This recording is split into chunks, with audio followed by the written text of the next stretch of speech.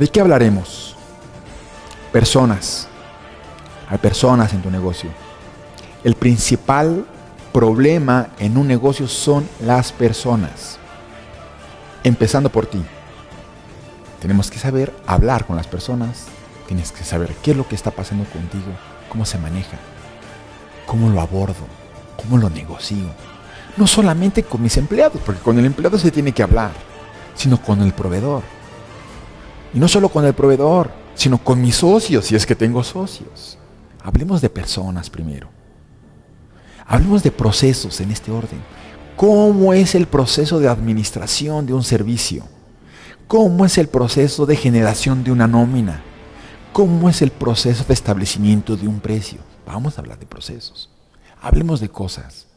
¿Cómo tiene que estar mi lugar de trabajo? ¿Cómo tiene que estar decorado mi salón? Sus espacios, su imagen, su publicidad, sus contratos.